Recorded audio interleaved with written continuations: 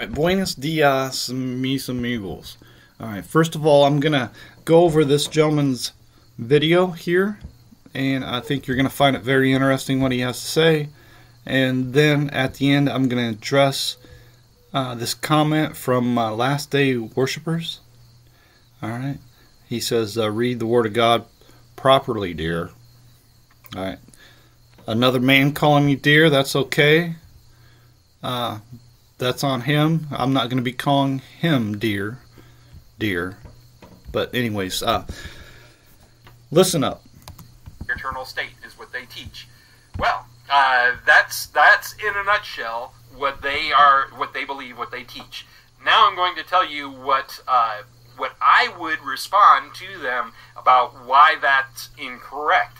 And I, I will say this: a lot of these folks that believe these things, they're they're nice folks and everything. I don't mean to talk bad about them or anything like that. And some of them may be, you know, some of them may even be on here. But uh, we we just have to understand that, uh, you know, despite my feelings towards these people, we need to stand upon the word of God, and we need to rightly divide the word of truth. And if they're not rightly dividing the word of truth, we need to call it out, and we need to say, no, that's wrong. This is what's right. This is why you're wrong about this. So I'm trying to do this in a way I'm not being. I don't want to be unkind about it to folks that believe this, but I'm going to show why this view is wrong and why the pre-tribulation rapture and the uh, the premillennial return of Christ, all of that is the correct view and the biblical view. That's that's really the important thing is what does the Bible say? Doesn't matter what I say. Doesn't matter what anyone else says. We just have to go by what the Bible says. Uh, by the way, Matt N joined us. Welcome, Matt. Uh, saw you there. Drifting. And I see you guys are talking about the uh, the Browns. Uh, yeah, they, I think they have a new CD. That's probably Drifting. what you guys are talking about. And uh, so, yeah, I Drifting. encourage you to support them. In fact, at the end of the broadcast tonight, uh, Drifting. The, the song I have picked out for us to finish with is actually the Browns. Drifting. So we'll be finishing up with the Browns tonight and we're looking forward to seeing them real soon. Uh, they uh, we're about to have our Jubilee in October, and they always come out for Jubilee, so I'm looking forward to that. And um, I I love those folks. Uh, uh, Brother Brown is a good friend of mine, so amen. Alrighty, let's go on. Uh, we'll talk about all, all the issues that I have with the premillennial, or excuse me, with the amillennial and the postmillennial views. So, uh, first of all, they said that the millennium is the entire church age. Well, the the church age. Bruce asking is, is it the Cleveland Browns? I don't think they live in Cleveland. uh, Drifting. but Drifting. it's the Brown family, of course. All right, so Revelation chapter 20 is where I'm going to go to. And so, Rev. There we go. Revelation 20. And I want verse number 4. So, they, they say that the millennium is actually the entire church age. But this is what it says in Revelation 20, verse 4. It says, And I saw thrones, and they that sat upon them, and judgment was given unto them, and I saw the souls of them that were beheaded for the witness of Jesus, and for the word of God, and which had not worshipped the beast, neither his image, neither had he received his mark upon their foreheads or in their hands, and they lived and reigned with Christ a thousand years. All right, a couple of things on these verses. Now, this is this is kind of problematic for the post or the uh, uh, millennial view is because these individuals are individuals during the tribulation period that have not worshipped the Oh, beast or his image. hold on a second now. Hold on. See, this is not honest. You're not being honest at all. When you categorize this as a tribulation period, because that's not what the text says. All right. This idea of a seven year tribulation does not exist in the Bible anywhere at all. In fact, excuse me, whenever I hear somebody say this uh, anything about a tribulation period, it's it's not a guarantee that they're wrong, but it's a red flag. And specifically when they say seven year tribulation, because I know that they are attributing attributing it to Daniel chapter nine, which is the fulfillment of uh, Jesus, when he laid down his life, he fulfilled Daniel chapter 9, the 70th week. Okay? When he laid down his life, that was the fulfillment of the 70 weeks. All right? And then, so what happens is when people make this claim of a, the seventh week, or I'm sorry, the 70th week being the seven year trip um, uh, tribulation, right? They're dismissing everything that Jesus has done. All right, let me walk. Let me try to do this real quick. The angel comes to Daniel and says, Consider the vision. 70 weeks are determined upon thy people to finish the transgression, to make an end of sins, to make reconciliation for iniquity, and to bring in everlasting righteousness. Now, Jesus did that when he laid down his life. Right? And at the end of it is when he confirmed it, when he laid down his life. He's the one that caused the sacrifice and oblation to cease. And it says here, even until the consummation, which is the return of our Lord Jesus Christ, when we are transformed into our glorified body.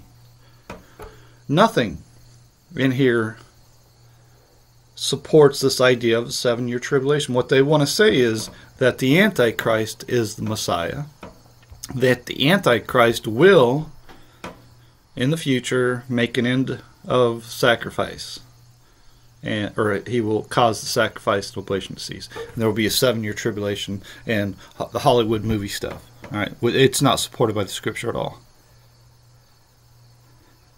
But if you press them on it, all you well, that's all you have to do is say, "Hey, is that the Antichrist?" And of course, if they say, "Yeah, that's the Antichrist," then they're essentially saying that the Messiah is the Antichrist, or that the Antichrist is the Messiah. Either way, it, it's incredible ignorance.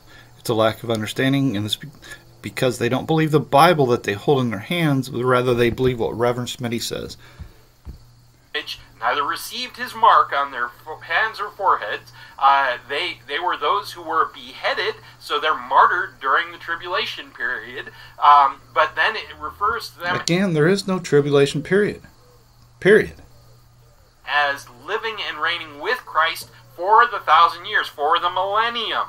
Now, if they teach that the millennium is actually the uh, the current age in which they live in, we live in, then these people were beheaded at the beginning of the church age, and now they should be ruling and reigning with Christ, uh, as in, I guess, here on earth, or no. Uh, this is this is purposely trying to not understand if you had read verse 5, the dead live not again till after the thousand years. All right, so if you're going to believe him, would, he's purposely trying to not understand. He wants to say that people with no heads should be ruling and reigning right now. That's not what the scripture says. Uh, he's trying to push a zombie doctrine of headless zombies reigning and ruling with Christ. That's not what the scripture says. Or maybe from heaven is what they're trying to say, but but anyway. No. See, this is not complicated. And I saw thrones that's what we sit on. Okay? That's what we sit on. We sit on heavenly thrones right now. All right, let's go two places real quickly. Real quickly. Don't go anywhere. Check this out. All right. And uh, where are we at here? And has raised us up together and made us sit together in heavenly places. Okay?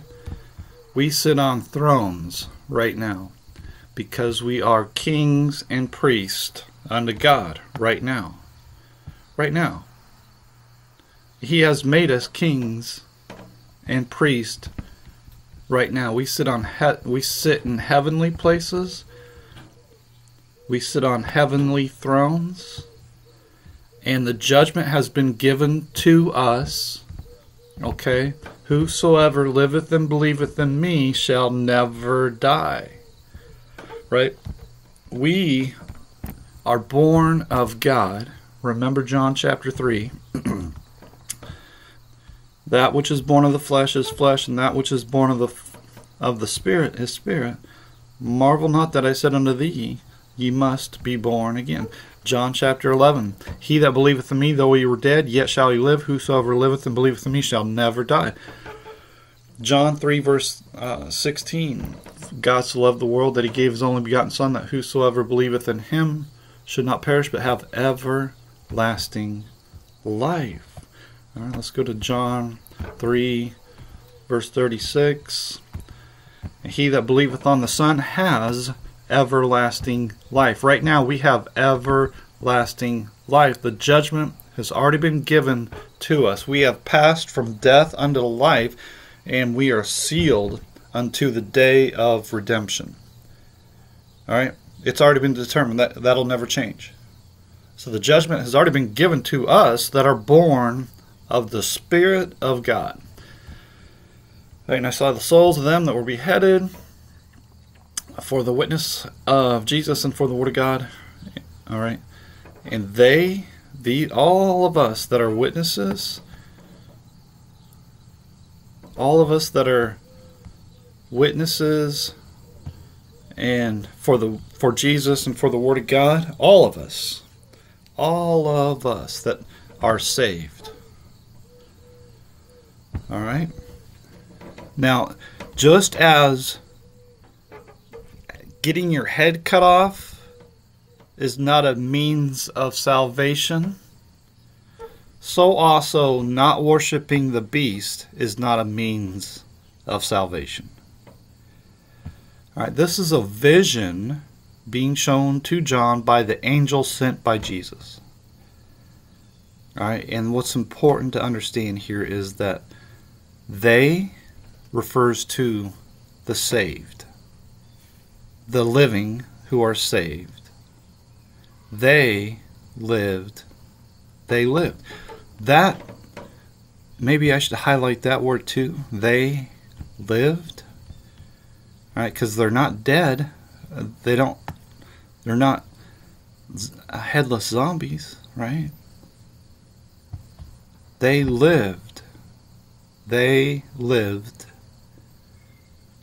Can, that doesn't mean they are living forever in this period. It just means those that are alive. They lived and reigned with Christ a thousand years. The, the rest of the dead lived not again until the thousand years were finished. The rest of the dead lived not again until the thousand years were finished. That means the resurrection occurs after thousand years. There is no resurrection before the thousand years. Notice a resurrection anywhere here? No, eh, because there is no resurrection. And I saw thrones, and they that sat upon them. That's not a resurrection. Why do you think that? Well, that's part of my zombie doctrine. You, you have to believe, right? I mean, you have to imagine that there's a resur- resurrection here. There's not. There is no resurrection before the thousand years. You're not seeing it anywhere, anywhere at all. The only resurrection at the beginning of the thousand years is the Lord Jesus Christ. Remember, he says, I am the resurrection. Jesus is the first resurrection, the first begotten of the dead, the first fruits of them that slept. We that are his sheep, he's the Lord is our shepherd. We that are his sheep we will follow him.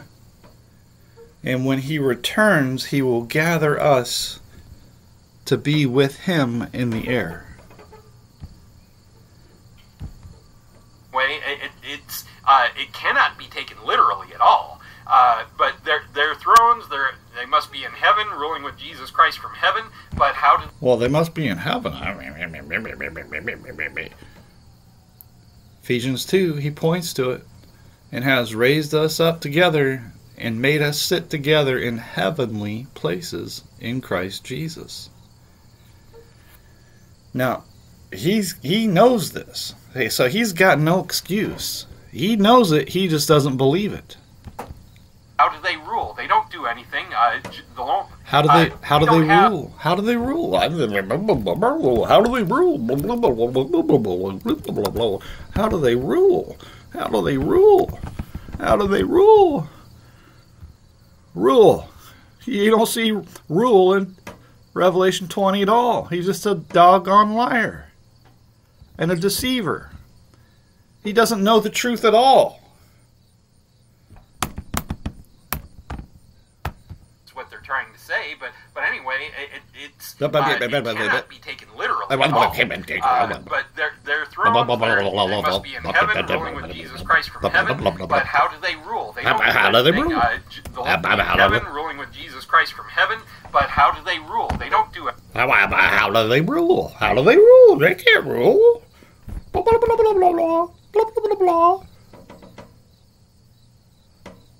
How do they rule? thrones. They're, must be in heaven, ruling with Jesus Christ from heaven. But how do they rule? They don't do anything. Uh, uh, we don't have uh, departed loved ones, and, and these these uh, people who had uh, uh, you know been beheaded for their faith in Christ coming down to the earth and you know saying, "Hey, you guys can't do that," and you know correcting sin and doing stuff, helping them to Good God Almighty. How do people get this stupid? Well, it's real simple. Rather than trusting the Word of God, as it plainly says for all to see, there's nothing hidden here. All right, it's only hidden to those that don't believe. If you can't see it, it's because you don't believe. It's that simple. There's a veil upon your heart. I mean, it's incredible. It really is. But this guy, he's got the support of 99.9% of all the preachers in the world. It's, it's amazing. The problem is they're all wrong. yeah, I just wonder if people even care about the truth anymore. This is it's a crazy world we live in. All right. Um before now I've had enough of this guy. I was gonna show more, but I can't take it, man. Gonna be all nice, and then I'm gonna be as dumb as dog do. He's gonna be nice, but he's gonna be dumb as dog do, and he's gonna lie. And he's gonna deceive. There is no mention of the word rule in Revelation 20 at all. All right, so you're a liar. If you can't admit that, to yourself, you're lying to yourself. Period. Let me walk. This is so simple. It's amazing. Let me walk you through this. It's only 15 verses. And get to 11 verses, and you, if you understand after 11, you, you'll, you'll never un- understand it. And I saw an angel come down from heaven, having a key the bottomless put pit and a great chain in his hand. Now, this is another vision, as we read in Revelation chapter 1, the revelation of Jesus Christ. Here, before I butcher the verse, let's get it. All right, let's get it. Now, you should have read this, really. Before you get to reading Revelation 20, you ought to read Revelation 1. It takes five minutes to read the chapter. The revelation of Jesus Christ, which God gave unto him to show unto his servants things, visions, which must shortly come to pass. And he sent and signified it by his angel unto his servant John. Now, this is very important. Jesus sends his angels sends his angels to John to show visions or things which must shortly come to pass. All right. That's that's extremely important to understand. It's the very first verse. If you don't get it, then you shouldn't continue on to the next verse. You really shouldn't figure this one out first. Okay? And then, if you figure that one out and you get to Revelation 20 and you see, and I, John, saw an angel sent by Jesus to show us things which must shortly come to pass. This is another vision. An, and he shows us a lot of visions of the same thing from different angles, different perspectives. But they're all consistent. There, there's no contradiction in the Word of God. This is from God. Right? And I saw an angel come down from heaven, having the key of the bottomless pit and a great chain in his hand, and he laid hold on the dragon, that old serpent, which is the devil and Satan, and bound him a thousand years. All right, so now let's let's get into. I'll spare you uh, uh, showing this guy talk, but he, he points out to uh, John 12 uh, where it says. Um, or else, how can one enter into a strong man's house and spoil his goods, except he first bind the strong man, and then he will spoil his house? Okay, so the Lord Jesus Christ has come in the flesh, and he has bound the strong man, which is the prince of this world, and now he's made available the kingdom of God to whosoever believes in him.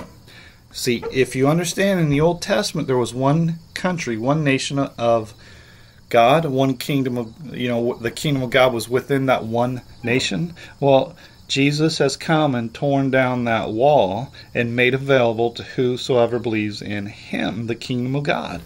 Now, and that's very important, very important to understand. It really is. It's so simple, it's amazing. Remember, Jesus says, to the Jews, the kingdom of God shall be taken from you and given to a nation bringing forth the fruits thereof. That nation is those of us that believe in the Lord Jesus Christ. So now the kingdom of God is available to whosoever believes in the Lord Jesus Christ. In the past, the kingdom of God was within that one nation. All right, and outside of that nation were the nations deceived. Satan had a hold of those nations, but not within the nation of God, where the kingdom of God was. All right? It's pretty simple. So now here comes Jesus, and he binds the strong man, and now he's spoiling the house, which is the earth. All right? And oh, I was going to make a point about how he lied about that too. Doesn't have any understanding, but doesn't matter. John chapter 16. Now is the judgment of this world. Now shall the prince of this world be cast out. All right, so he's bound and then he's going to be destroyed. Right. If you, maybe one way you can equate it to, uh, you know, uh, somebody thrown in death row and then uh, then executed. All right, that, that's one way to look at it. Okay, so the issue here, I know a lot of people get hung up on this, so let me address it now a lot of people get hung up on this idea well, how can you say Satan is sealed up and not deceiving the nations no more? This guy repeatedly says, Well, I go outside and I look and I don't see Satan being bound up. Well, uh, first of all, does it say what it is that you're referring to, or does it say nations? Because that's really the key. If you don't understand that, then there's something wrong with your heart. you're you're trying to apply this to your neighbor, right? Your brother, your sister, everybody else but yourself. That's problem number one. Uh, you shouldn't be saying, well, when I go out and look, and I'm probably guilty of this too, when I go out and look, I don't see Satan being bound. I see all kinds of people, you know, all kinds of, uh, you know, bad stuff, right?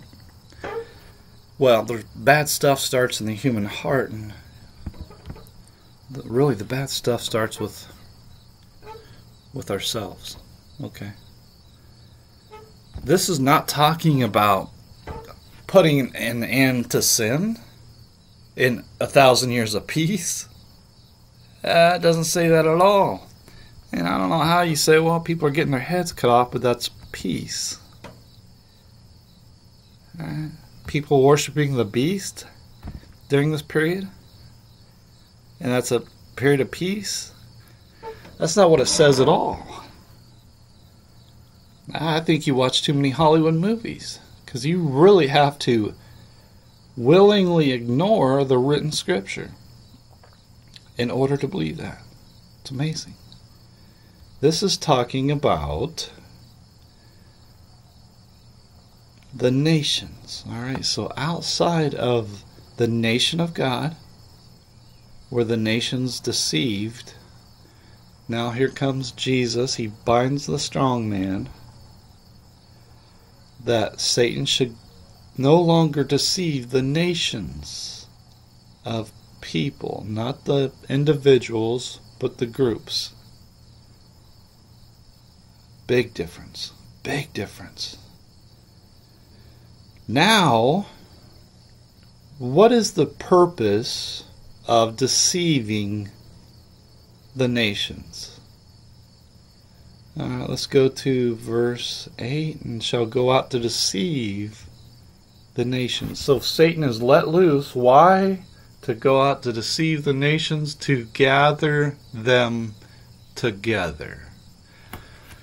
Now, if you can understand that, man, you ought to be you you ought to be able to, to get it, really.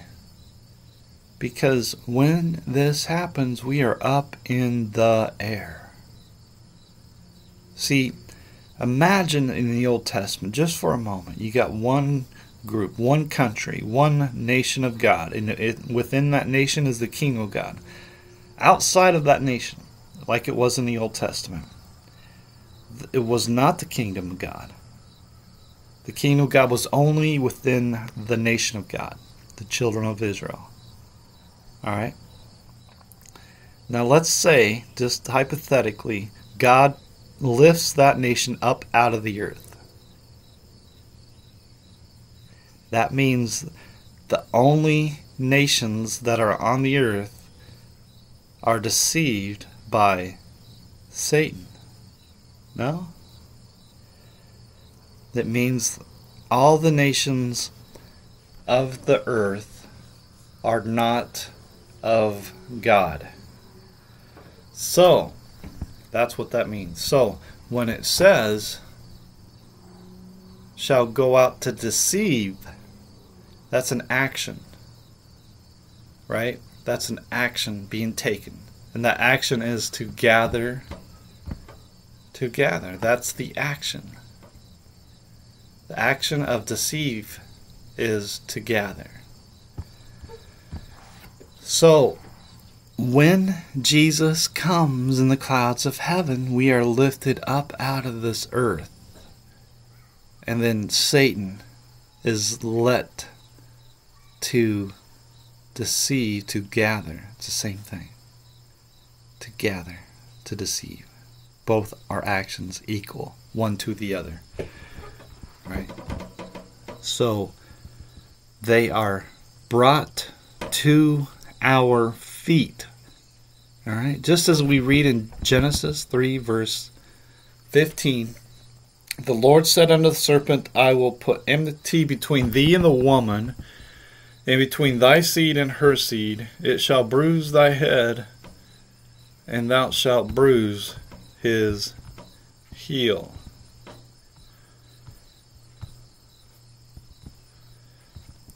I will put enmity between thee and the woman, between thy seed and her seed. It shall bruise thy head, and thou shalt bruise his heel. Right? So, where's the Lord? Up in the air. And he stomps his foot on the head of the serpent. This is prophesied all throughout the Bible, consistently. Psalm 110 The Lord said unto my Lord, Sit thou at my right hand until I make thine enemies thy footstool.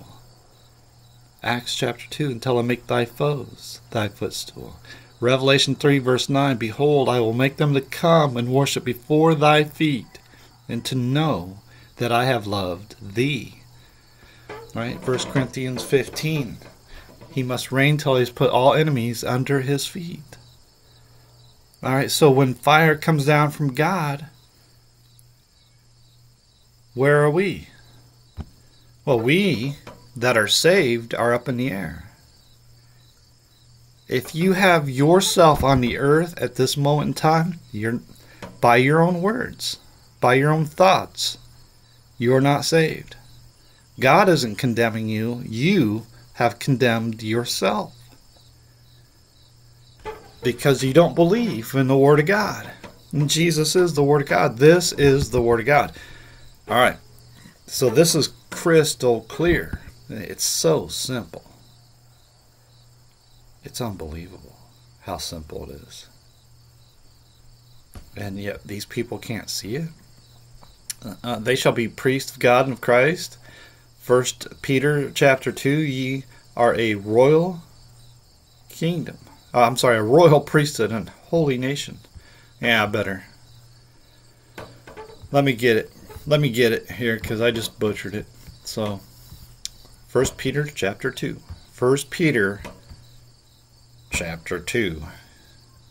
Ye are a chosen generation, a royal priesthood, and a holy nation, a peculiar people. Talking about Christians, talking about the elect talking about those of us that are born of the Spirit of God.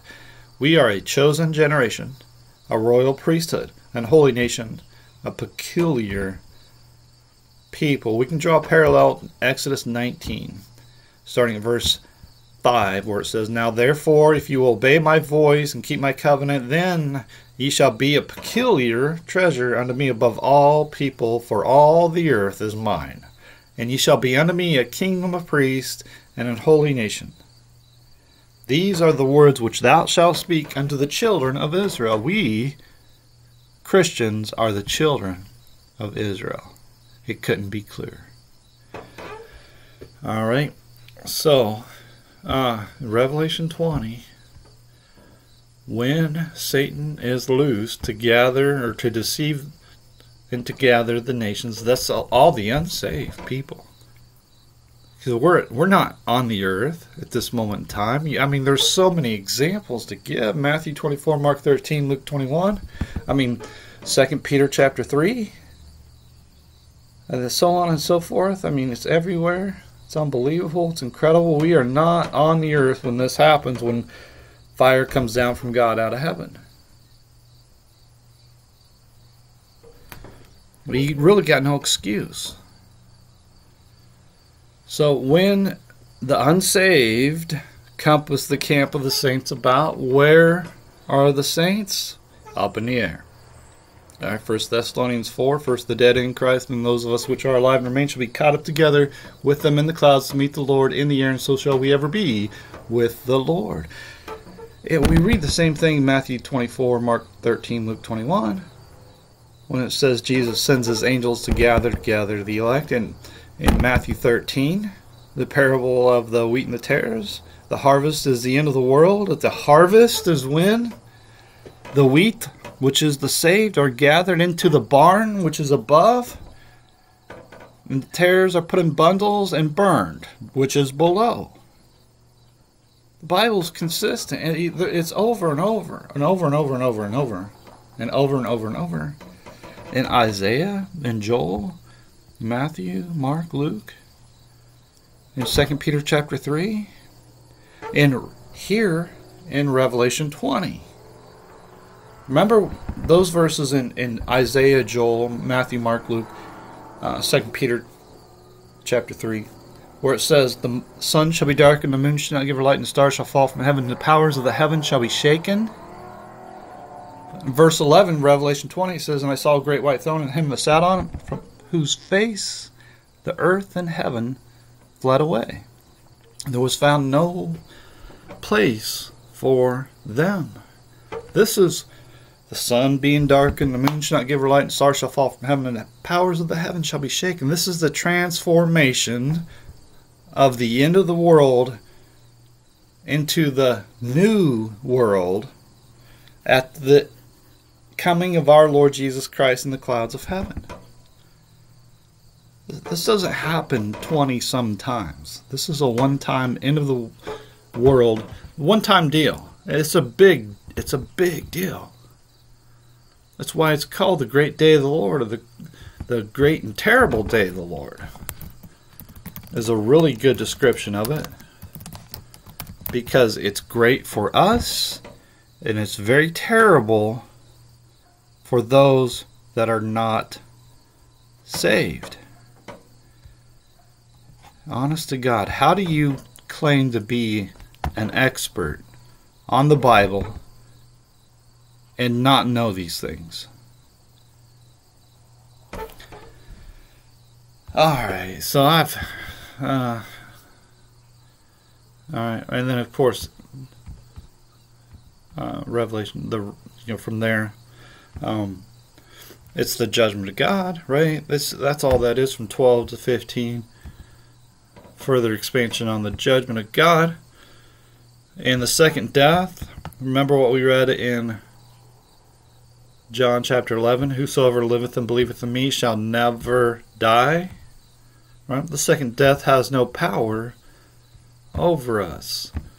Right? The second death has no power over us. Blessed and holy is he that has part in the first resurrection. On such the second death has no power, but they shall be praised of God and of Christ and shall reign with Christ a thousand years. All right. So, right now, we that are saved reign with Jesus Christ. He's in us, and we are in Him. We are one with the Lord God Almighty. All right. All right. So I feel like I, I always talk too much. But I want to go over this real quickly. Read the word. This uh, last day worshipers, he says, read the word of God properly, dear. Ours is also called the first resurrection. No, it's not. It's never, not a single time. That's just a straight up lie. Gee whiz, man. These guys, they lie and people, I don't know how they are so easily deceived. Uh, you notice first resurrection is only mentioned in Revelation 20, verse 5 and verse 6. First resurrection. Now, if you would have read John chapter 11, you would have, you should have known Jesus is the resurrection. Right, you should have known that. Jesus even says himself, I am the resurrection. Right?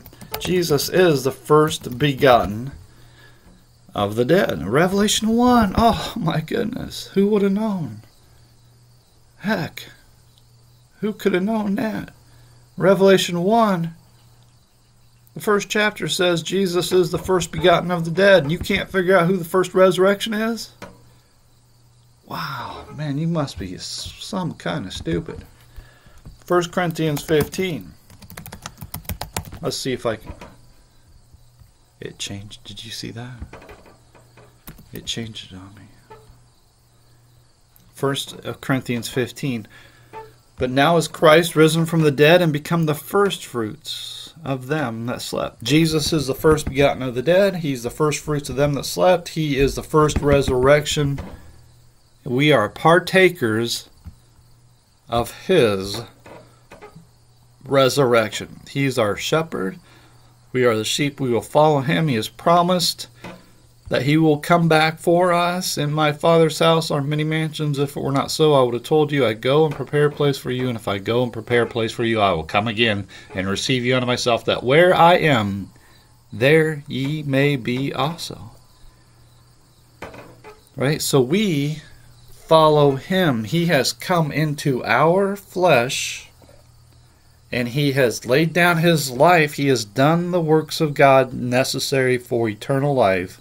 He has went into the grave, and he has come up out of the grave, and he has uh, transformed into a perfect flesh, an incorruptible, immortal flesh, and ascended to heaven with the promise that he will return for us and gather us unto him in the air, and all the unsaved will be gathered at her feet, and fire will come down from God out of heaven and, and destroy them, devour them. All the elements shall melt with fervent heat. The earth also, and the works that are therein shall be burned up. You know that this world was destroyed by water in the days of Noah. Then so also should you know this world will be destroyed by fire when the Lord Jesus comes in the clouds of heaven. I mean, this is not a, this is, it's overwhelming. This is not a one time verse where I'm trying to manipulate your brain. This is overwhelming evidence all throughout the Bible from Genesis to Revelation. Genesis 3, verse 15 The Lord said to the serpent, I will put enmity between thee and the woman, and between thy seed and her seed. It shall bruise thy head, and thou shalt bruise his heel. This prophecy is taught all throughout the Bible consistently, never wavers. Men waver, but not the Word of God. All right, the, he, this, uh, whoever this deceiver is, he says the above portion of Scripture is telling us that we are going to share in the first resurrection of our Lord Jesus Christ. Well, you're right. Yeah, that's what I'm saying. No, but you're going to twist this and change it, make it say the opposite, aren't you? Well, let's find out. It is certainly referring to God's children as partakers of the first resurrection. Yeah, yeah, absolutely. Well, you Boy, you really uh, got me going now. Notice words like those and who share. Well, you know, it's in the sharing there, but whatever those are, ain't no man you in the first resurrection. Blessed and holy is he that has part in the first resurrection. On such, the second death has no power. Right? Isn't that what it says?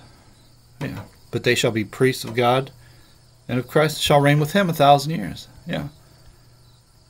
Yeah, well, wait, you get some goofy words there, but whatever, okay.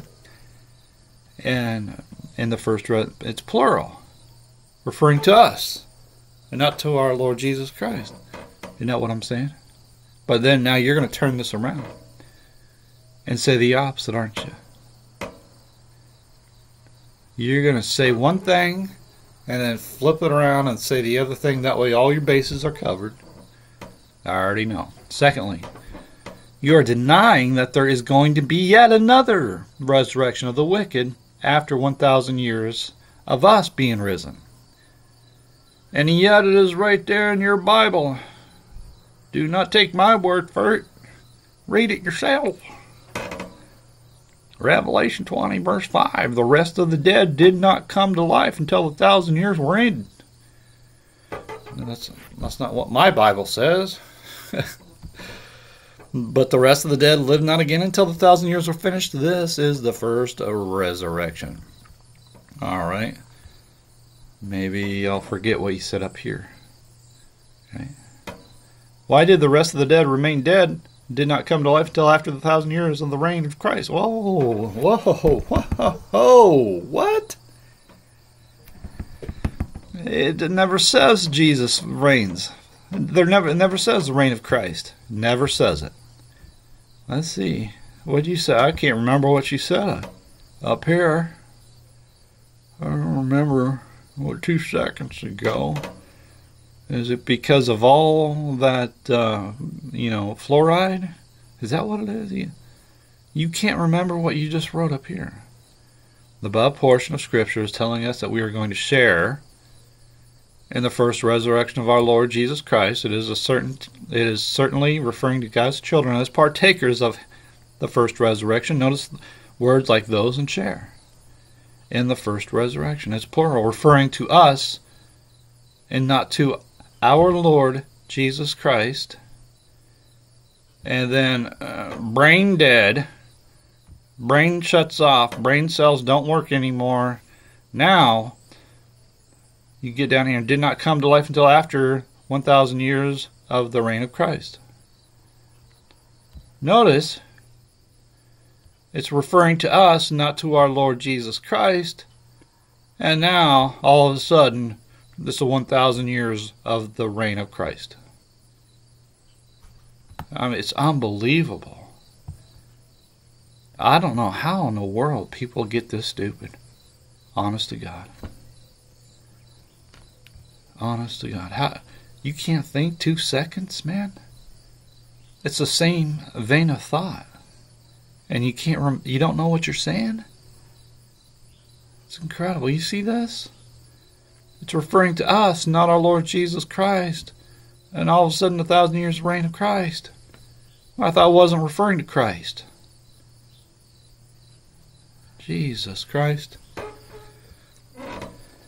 jesus christ does not reign a thousand years jesus reigns forever you can't dispute that it's because they were not saved by the blood of our Lord Jesus Christ. They did not receive Him, and they will be raised 1,000 years after us to face God's judgment. In Revelation 20, verse 11, verse 5, 15, whatever. So there you have it, A clear as day. I mean, shh, geez whiz. Clear as, clear as day. Oh, it's midnight? Look at look at this. They they will be raised. It's because they were not saved. They will be raised. 1,000 years after us. Why?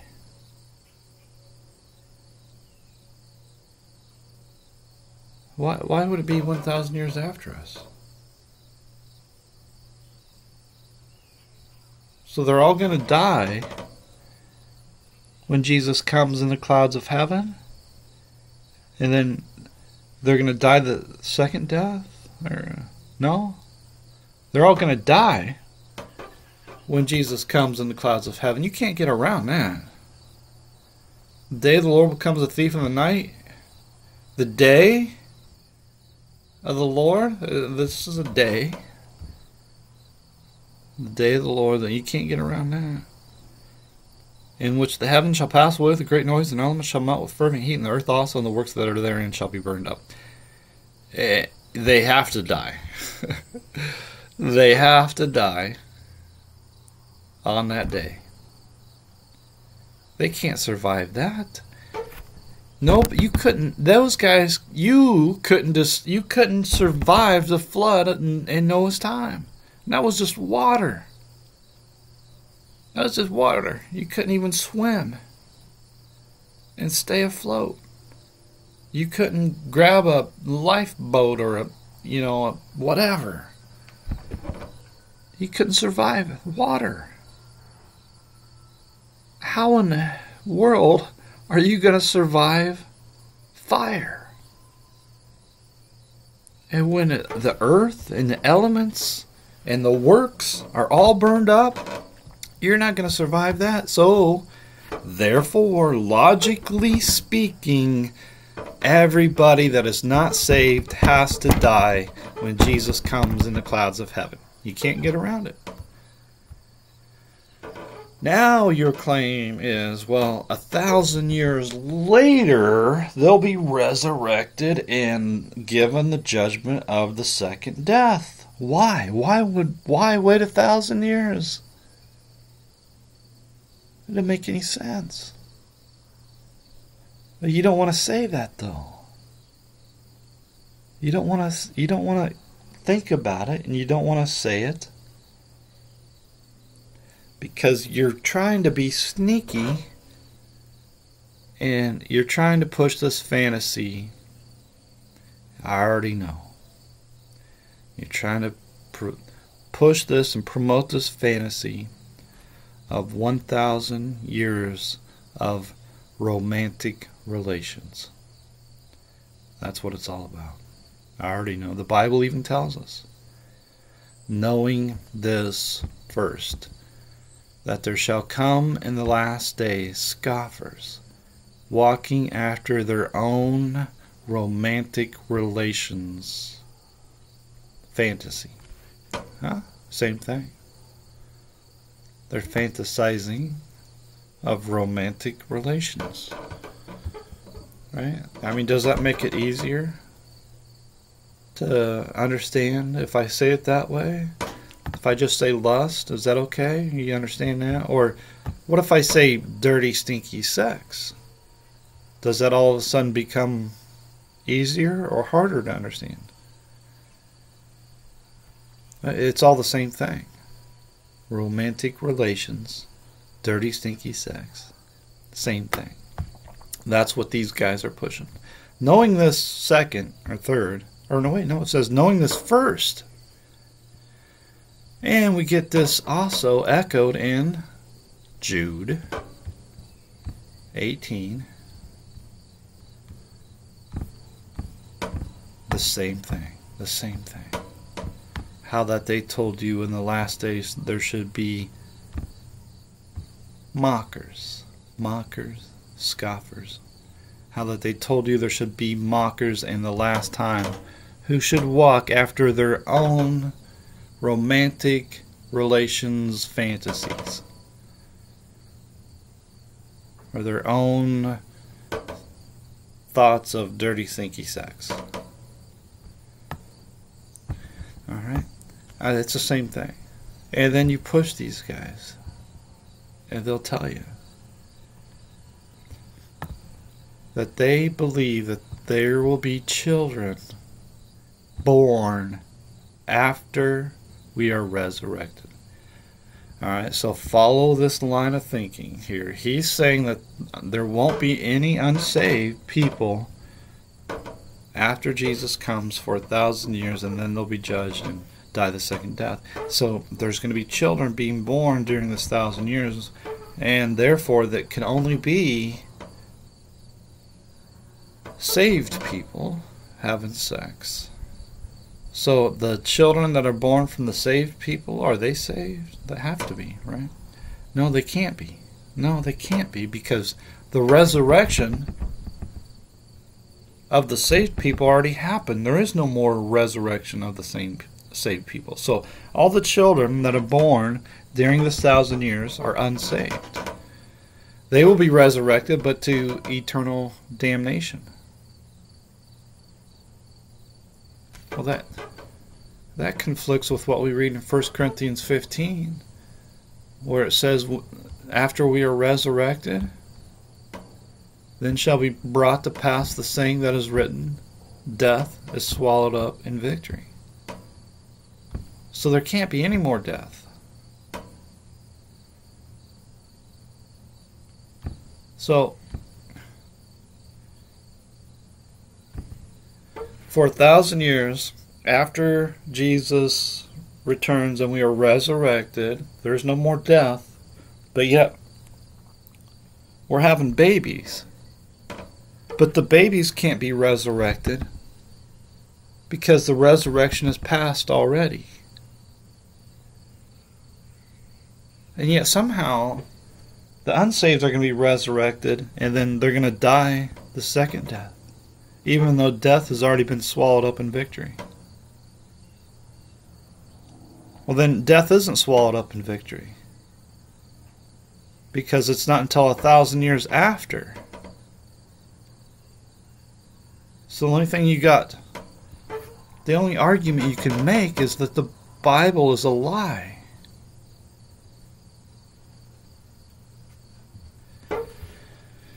Yeah, these people are absolutely insane. And they got no excuse, man. Uh, you don't got no excuse. Now, if you're a new believer and you're trying to learn, yeah, okay, figure it out. These guys, they got no excuse. You got no excuse. You got no excuse at all. All right. Because you look at this. You've been doing this for a while.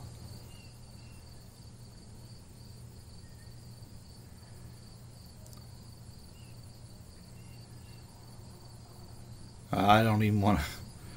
I don't even. I don't even what. The, I don't even care. I don't even care, man. Don't even care. These guys, they have no excuse. All right, and uh, quite frankly, you don't have any excuse either. You got the scripture, you got the word of God, you got everything you could possibly ask for. The only requirement that is needed to understand is to believe what you read. Believe the Bible that you hold in your hands. That's it. Unfortunately, we live in a world where very, very few actually believe the Bible that they hold in their hands. And it's interesting because that's exactly what we're told would happen in Matthew 24, Mark 13, Luke 21 where Jesus says, Except those days be shortened, there's no flesh be saved, but for the elect's sake those days shall be shortened. If God allowed things to play out as they are, there would come a point to where nobody's saved. Why? Why is that? Is that is that because there's going to be an antichrist coming, and he's to uh, turn us all into robots or rep, you know reptilians? You know, or what is it? Huh? What, what, what do you think? Well, what if Jesus comes back today? Are you to say no? Not every the, he, the Antichrist hasn't come and, and he hasn't turned us all into reptilians. You can't come yet. Is that what you're going to tell him? I'd like to be there, standing next to you when you explain to the Lord Jesus Christ why he can't come today. Would love to hear that conversation. Would love to hear your explanations and excuses for why he's come too soon. I really would. I would love it, man. Love it. Luke chapter 18. I tell you, he will avenge them speedily. Nevertheless, when the Son of Man comes, shall he find faith on the earth? Does anybody believe the Bible that they hold in their hands? If you believe the Bible that you hold in your hands, why don't you believe this? Huh? Why don't you believe this?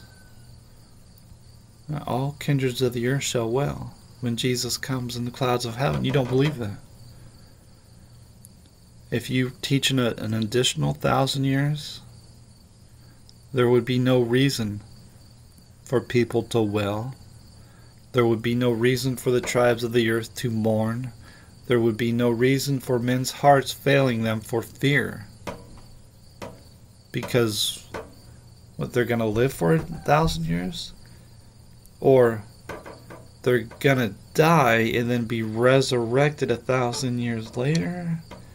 then the Bible's a lie because death has not been brought to pass, or I'm sorry, um, death is not swallowed up in victory. You, you're in a bad spot, man. How about this? How about just believe the Bible that you hold in your hands? Believe that it comes from God above and not from man, but from God. Just as the Ten Commandments were written with the finger of God, so also is this Bible directly from God. Huh? Forever, O Lord, thy word is settled in heaven.